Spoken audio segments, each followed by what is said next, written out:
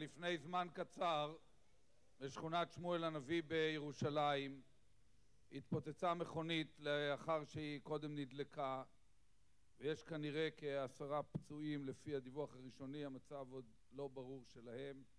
זה רק מעיד, אנחנו רק לפני כמה דקות דיברנו על האפשרות הזאת שיהיו ניסיונות לפגוע בסיכויים בכלל להמשך של תהליך השלום ואנחנו צריכים לעצמנו לומר את האמת שאנחנו בתוך תקופה של התמודדות אלימה שנצטרך לעשות בה את מה שאנחנו כל דבר שניתן כדי גם לסכל פיגועים גם לפגוע במי שפוגע בנו וגם לפעול לשינוי המציאות הזאת מיסודה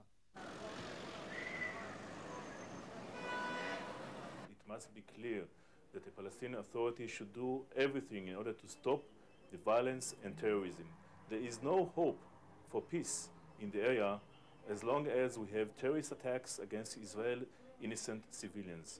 It's an obligation of the Palestinian side to put, to put an end to it and to do whatever it can in order to put an end to the terror attacks against Israelis.